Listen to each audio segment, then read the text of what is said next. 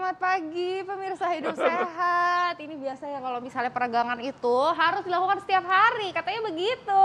Betul banget dok Arlin ya. Iya, Apalagi betul, kalau stretching Yes. selain membantu kita terhindar dari cedera juga membantu memperbaiki postur tubuh dok. Betul. Jadi kadang-kadang suka ada ya, aduh kok ini apa namanya suka pegel-pegel ya. Eh jangan-jangan kurang stretching. Iya. Nah. Atau ya bisa Yes. juga nih kalau siang itu rasanya pegel, Iya. lelah, mungkin malamnya kurang tidur karena tidurnya Eh, Nah. ngorok ya. Kadang-kadang suka kayak gitu kalau misalnya kok bangun kayak kita ditiban sama tronton Betul. gitu ya segede-gede apa.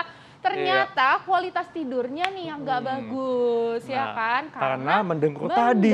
mendengkur. Nah, kita akan membahas tentang tidur mendengkur, namun sebelumnya kita lihat dulu tayangannya berikut ini.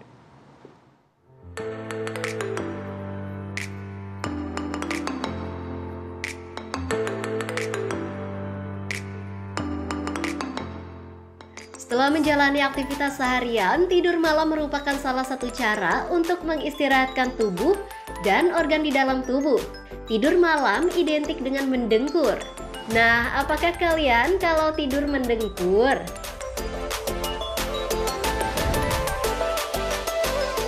Mendengkur biasanya terjadi saat kita tidur dan dianggap sebagai suatu kebiasaan buruk. Orang yang mendengkur secara tidak sadar mengeluarkan suara kasar saat tidur. Mereka baru akan sadar saat seseorang terganggu akan suara dengkuran dan membangunkannya. Mendengkur ialah dampak dari terhalang atau menyempitnya saluran pernapasan. Kebiasaan tidur mendengkur bisa dialami oleh siapa saja, tetapi hal ini umumnya terjadi pada pria dan orang yang obesitas. Selain karena obesitas, kebiasaan mendengkur juga bisa disebabkan oleh kelelahan atau kondisi medis lain, seperti kelainan bentuk hidung, tenggorokan, atau mulut.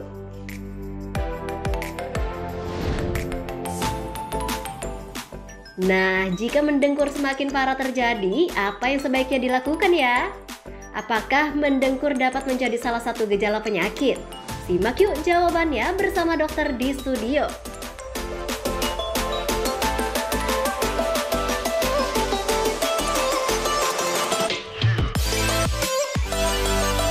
Nah, itu tadi ya. Jadi, mendengkur saat tidur selain mengganggu penderitanya, juga bisa mengganggu hubungan sosial dengan orang yang bobok di sebelahnya. Nah, iya biasanya kadang-kadang kalau misalnya orang mendengkur itu nggak ngaku gitu ya. orang sebelahnya yang terganggu. Nah, Betul. makanya nih kita bakal membahasnya bersama dengan Dr. Jeffrey Alois Gunawan, spesialis penyakit dalam. Selamat Ya, pagi, dokter. Pagi, dok. mereka. Tidurnya Udah enak, dok. Luar biasa. Dok, ini memang masyarakat mungkin yang mengalami mendengkur itu suka nggak nyadar dok Iya, ya. nyadar. Tapi ketahuannya ketika orang di sebelahnya bilang kalau kamu mendengkur tidurnya. Iya, nah, betul. ini ada yang mengatakan dok ya, sebetulnya kalau mendengkur saat tidur disebabkan karena adanya hambatan pada saluran nafas akibat lidah atau amandel. Ini fakta atau mitos? Iya, sebenarnya bisa dibilang fakta ya. Fakta, kenapa iya, tuh, dok? karena memang mendengkur ini penyebabnya karena penyempitan saluran nafas yang sering kali karena pangkal lidahnya itu jatuh ke Iya. bawah.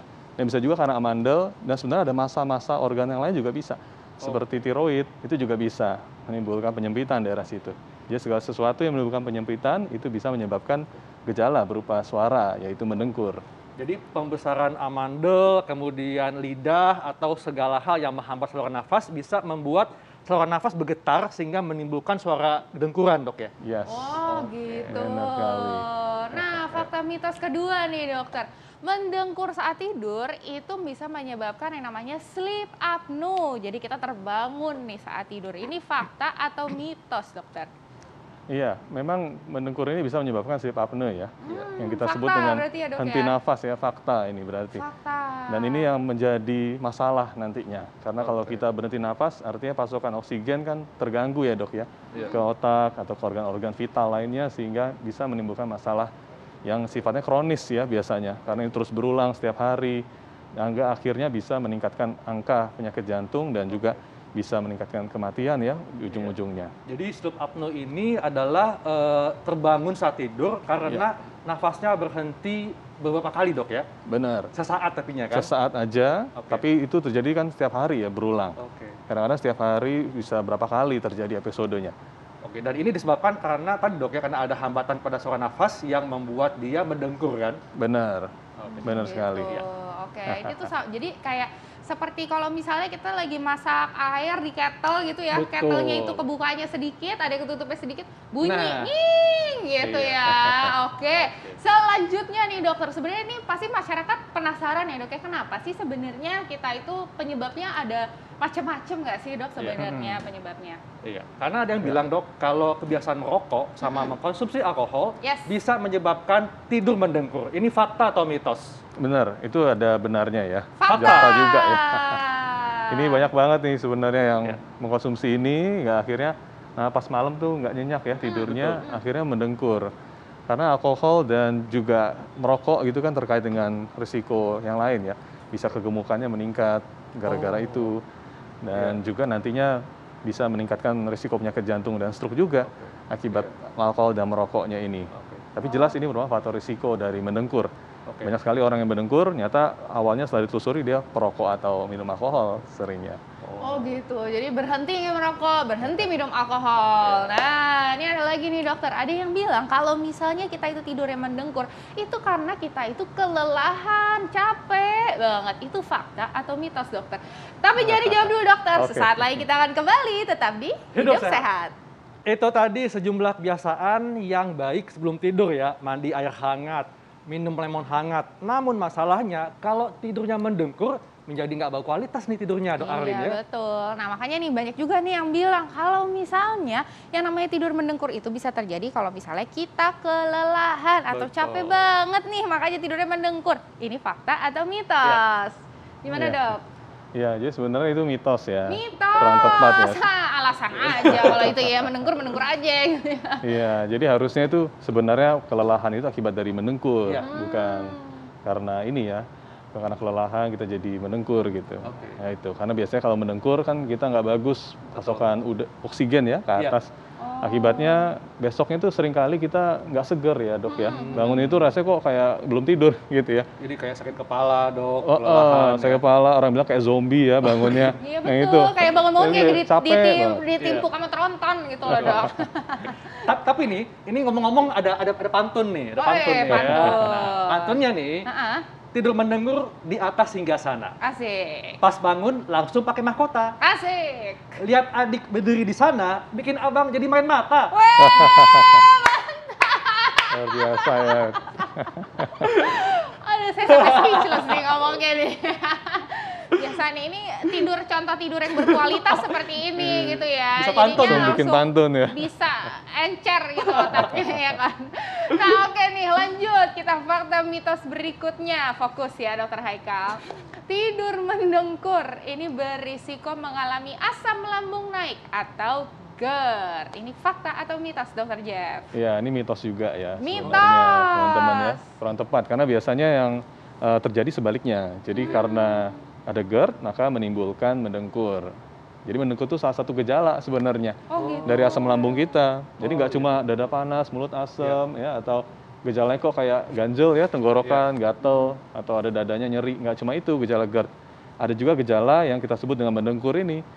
Bisa jadi. Nah, kenapa sih kok terjadi seperti itu? Karena asam lambungnya kan naik ya. Dia sampai ke daerah sekitar saluran nafas, kan bersebelahan tuh saluran nafas saluran cerna. Nah, akibatnya jadi radang di situ, bengkak, akhirnya menyumbat juga tadi nafas yang keluar masuk. Akibatnya jadi bunyi deh. Iya. Jadi mendengkur juga. Ya, Dok, kan Hmm. tadi kan di- sudah, eh, dikatakan bahwa memang penyebabnya bisa karena merokok, alkohol, sama obesitas ya. Yes. Nah, kalau misalnya eh, ada orang yang memang dia suka mendengkur, ada gak dok cara untuk menghindar atau meminimalkan, misalnya tidurnya di sanggah beli bantal, atau mungkin kalau dia ada GERD, diatasi dulu GERD-nya, atau apalagi dok? Iya, untuk tips-tipsnya sih sebenarnya bisa dengan tadi ya, eh, kurangi pastinya alkohol merokoknya, terutama sebelum tidur jangan minum minuman alkohol merokok dulu. Kemudian bantalnya harus ditinggikan ya sebaiknya. Jadi jangan terlentang itu biasanya udah sulit ya. Nanti akan lebih berat mendengkurnya terutama kalau dia sudah ada GERD tadi ya sebelumnya. Dan pastikan juga ini ya untuk Iya. orang-orang dengan mendengkur nih harus kurangi berat badan. Itu yang paling Oke. penting ya dok karena sering kali ada lemak ya di daerah Iya. sekitar leher tenggorokan ini yang bikin bunyi-bunyi. Iya. Jadi tips-tipsnya sih sebenarnya lebih ke pola hidup sehat ya dok. Iya. Tapi kalau ada gejala yang berat, baiknya konsultasi ke dokter ya. Hmm. Oke, nah ini juga kekhawatiran masyarakat nih dok. Katanya kalau misalnya orang tidurnya mendengkur, ini berisiko terkena serangan stroke. Ini fakta atau mitos dokter? Iya, fakta sebenarnya. Fakta. Ada Wah, hubungannya bahaya ini. juga ya dok. Heeh, bener Arlin. Jadi memang kalau adanya mendengkur ini kan tadi mengurangi kadar oksigen ya. Hmm. Ya, Akibatnya lama-lama oksigen yang harusnya dipasok ke sel-sel di otak kita itu mengalami deeplesia gitu ya atau Hmm. terjadilah hipoksia orang sering bilang juga Kurang oksigen kurang ya ya. oksigen. Nah akibatnya apa? Lama-lama lama-lama tambah tersumbat, tambah tersumbat, akhirnya oksigennya benar-benar kurang sekali ya dalam Iya, kondisi kritis. betul. Akibatnya selnya mati dan terjadilah stroke tadi. Oke. Itu yang sangat-sangat fatal. Iya. Oke. Dok, berarti kan ini eh, ini kan sebenarnya agak bahaya gitu ya dok ya Iya, bahaya. betul. Tapi sebenarnya dok ya kadang-kadang orang yang mendengkur itu nggak ngaku, nggak sadar kalau misalnya Iya. dia itu mendengkur. Kayak misalnya suami saya, ya Allah baru tahu begitu abis abis nikah gitu ya Iya. baru tahu oh dia mendengkurnya tuh keras banget gitu. Pas ditanya ternyata dia juga enggak kok nggak Iya. mendengkur gitu. Nah ini tapi kan padahal bahaya ya dok ya sampai Yes. bisa stroke lah gitu. Ada nggak sih dok cara untuk kita tahu dulu nih bahwa kita itu mendengkur gitu? Iya, ini juga banyak yang belum tahu ya. Iya. Teman-teman di rumah mungkin harus ngapain sih kalau kita mendengkur yang cukup berat ya dok ya. Iya. yang udah nggak ada obatnya deh gitu orang bilang ya. Ya sebenarnya kita akan periksa kalau kami di klinik itu akan cek dulu ya awalnya apakah mendengkur ini termasuk yang jenisnya itu harus segera diperiksa. Biasanya itu yang lebih dari tiga kali dalam seminggu ya terjadinya. Dan biasanya sudah eh, sangat-sangat mengganggu orangnya Iya. sampai-sampai dia sesak napas gitu ya waktu Iya. tidur karena ada periode berhenti napasnya. Biasanya kita akan cek yang pertama itu kita pastikan struktur di laring ya karena kan Iya. kita suara di laring Betul, betul. Iya. itu kita akan cek apakah ada sumbatan massa tiroid atau tadi ya massa-massa lain di sekitar situ Ya. yang bisa menimbulkan suara mendengkur. Oke. Setelah itu kita akan lakukan polisomnografi biasanya dok itu untuk menilai nanti berapa sih skor apnonya. Oke. Jadi berapa sih eh, jumlah nafas yang berhenti sepanjang tidur itu. Nah nanti dari skor itu kita lihat berapa sih skornya untuk nanti bisa dilakukan pengobatan lanjutan dok. Biasanya kita akan berikan CPAP ya namanya Hmm. ada bantuan nafas ya bagi pasiennya supaya tadi mengurangi risiko hipoksia dan akhirnya risiko serangan jantung dan stroke di kemudian hari. Iya. Hmm, Jadi emang harus di ini betul. ya dok ya. Dok, eh, sebetulnya komplikasi selain tadi yang dikatakan stroke sama masalah jantung, adakah komplikasi yang sifatnya mendadak yang sangat berbahaya bagi mereka yang suka mendengkur ini, dok? Baik, memang kalau komplikasi yang banyak kan sih kronis ya dok ya. Karena mendengkur ini kan proses yang terjadi secara kronis juga, gradual, dan akhirnya progresif ya, sehingga menimbulkan akhirnya manifestasi yang tidak dapat dikembalikan lagi, seperti stroke Oke. atau sakit jantung. Kalau untuk yang akutnya sebenarnya sih lebih ke ininya ya, tidak nyaman ya, karena sering kali kan dia akhirnya apne, tidak nafas gitu ya, akhirnya dia menggap-menggap Hmm. gitu. Ada, Kasihan ada mekanisme ya. refleks ya dok ya. Iya, nah itu nggak nyaman banget. Iya. Dan juga tadi ya, eh, sering kali kualitas bekerjanya ya tuh nggak jadi uring-uringan di kantor ya, karena kan nggak nyenyak tidurnya. Iya. Itu yang lebih Makanya nih, Dr. Arwin ya, tipsnya bagi yang suka mendengkur, di sampingnya mesti ada yang nemenin bobo. Eh, bisa aja. Kalau nggak ada gimana? Cari dulu ya. Oke dok, ini juga pertanyaan semua orang nih ya dok ya. Ini bisa diobatin nggak sih sebenarnya dok tidur mendengkur? Ya, ini tergantung penyebabnya ya sebenarnya. Makanya penting banget untuk dicari tahu teman-teman yang mendengkur langsung datang ya. Biasanya di klinik tadi kita cek ya macam-macam serangkaian pemeriksaan untuk nanti kita lihat skor apnonya dan juga dilihat karakteristik lainnya. Kalau misalnya mendengkurnya karena gangguan struktural, misalnya ada massa ya tiroid tadi Iya. atau amandel, biasanya dengan cara kita ambil maka akan berkurang atau bahkan hilang ya mendengkurnya. Jadi tidak semua mendengkur itu pasti nggak ada obatnya gitu ya. Betul. Bisa Ta- kok kita. Tapi dok, mungkin yang obatnya agak susah kalau dis- sebabnya karena adanya masa lalu, sumbatan masa lalu. Wah ini yang susah ini. Ini bisa aja hari ini kenapa ya? Ada apa dengan dokter Haikal ya? Ngomongin tidur mendengkur ke mana-mana gitu ya. Nah tapi ini berarti banyak nih ya dok pasti masyarakat yang juga pengen tahu ya dok ya Iya. tipsnya nih buat mungkin ada yang suaminya kayak saya ya suaminya tidur mendengkur gitu ya. Bapak dengerin ya. Terus juga yang kedua misalnya buat dirinya yang rasa kok bangun pagi rasanya Iya. nggak enak banget gitu ya. Jangan-jangan tidurnya mendengkur. Nah ini Terus mungkin ada tips nih dari Masih dokter. single pula kan? Nah, Nah, ini tuh. ini yang sulit ya diobati kayaknya. Silakan Tapi- dokter. ya tips-tipsnya sebenarnya lebih ke pola hidup sehat ya untuk teman-teman semua. Karena kebanyakan mendengkur ini kan pasiennya itu mengalami obesitas ya, Iya. kegemukan. Khususnya juga ada yang bilang di daerah leher nih dok, saya tebel gitu ya, jadinya pantas aja nafasnya susah. Nah itu sebenarnya bisa ya dikurangi dengan cara olahraga kardio 30 menit sehari atau dengan angkat beban juga. Jangan lupa teman-teman ya, angkat beban juga bisa Iya. mengikis lemak juga. Oke. Kemudian pastinya tadi pastikan apa sih penyebabnya itu teman-teman cari tahu sebenarnya ke dokter. Nanti kita obati juga gitu sambil teman-teman berusaha ya mengurangi makan yang terlalu banyak lemak, karbohidrat Iya. dan tadi merokok alkohol ya dok ya Betul. pastinya itu hindari apalagi makan-makan menjelang jam tidur ya itu juga sebaiknya dihindari ya diusahakan tiga jam minimal sebelum tidur. Iya. Gitu Oke, ya. baik dok, terima kasih Sleep untuk hygiene penjelasannya. berarti ya dok ya, sleep hygiene. Betul. Iya benar banget. Oke deh, terima kasih banyak dokter informasinya. Arlin. Dok. Arlin, ini kan Indonesia adalah negara tropis ya. Yes. Dan kita setiap hari itu mendapatkan sinar matahari. Namun Betul, ternyata tapi- banyak sebagian dari kita yang kekurangan vitamin D. Apalagi di zaman pandemi ini kita Yes. butuh imunitas yang kuat, Dok Arlin. Betul. Nah, gimana sih gejalanya dan apa sih bahayanya kalau misalnya kita kekurangan vitamin D? Sesaat lagi akan dibahas hanya di Hidup, Hidup Sehat. Sehat.